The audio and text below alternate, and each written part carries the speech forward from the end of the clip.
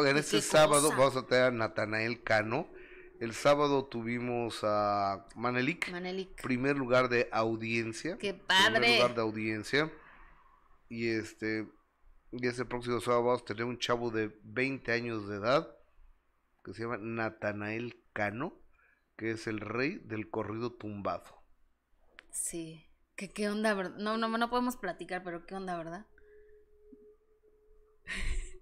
Pero yo nada más A me ver, veía la mano y esas él- cadenas. Él abiertamente lo ha dicho.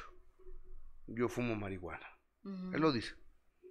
Y entiendo que a, a los toquines se sube con su touch de mota. Entiendo, nunca lo he visto. Porque me voy a esperar hasta que vaya a, a Indio, California, a Coachella. Vas a ir, órale. Pues espero que me invite, ¿no?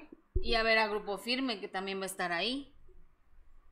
Yo creo que voy a tener mucho Qué trabajo padre, por allá. qué padre. No, O sea, nadie me, nadie me ha invitado, pero yo me estoy invitando. Oye, pero ¿a qué vas con todo eso que estás diciendo? De que él lo ha dicho.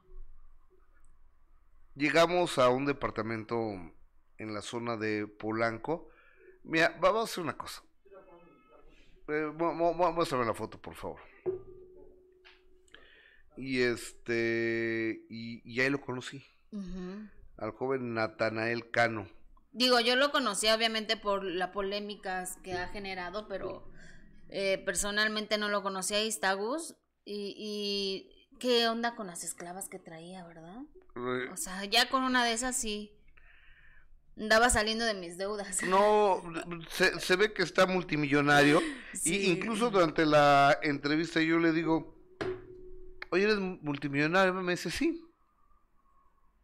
Sí. Ujú. Entonces, trae dos nuevos discos que va a sacar. Trap, uno, y otro es regional mexicano, corridos. Ujú. 20 años de edad, Todo tatuado, todo tatuado lleno de blim blim y de marcas. y de marcas, exactamente. Y de. y de. Ya. Lo demás ya no lo podemos No, decir. pues yo tengo marcas del mercado, ¿no? Pues normal, o sea, como la gente normal. Ay, pues es lo que te he dicho. De, co- co- co- de Coppel, Sí. de, de mi Coppel, de mi Coppel. Pero él sí Es lo que te he dicho. trae uno- unos tenis Louis Vuitton. Louis. Padrísimos, padrísimos.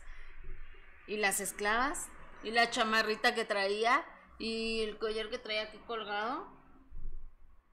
Sí, voy a escribirme. Mañana le- les cuento todo, pero primero quiero que lean mi columna del periódico Excelsior de mañana, donde voy a contar toda la crónica. No mejor el jueves. Oye, pero aparte está, nos da- estaba contando que no sabe dónde va a vivir, ¿verdad? O sea, que estaba aquí en la Ciudad de México, pero que no sabía si, si quedarse aquí de fijo, obviamente por la inseguridad. Pero tiene una casa en Los Ángeles Y otra en Culiacán, y otra en Culiacán. de donde es originario. No, el chavo sí está forrado de dinero, Gustavo. Pues está Y está bien. chavito. La gente, la gente que trabaja tiene que ganar bien, ¿no? Yo opino.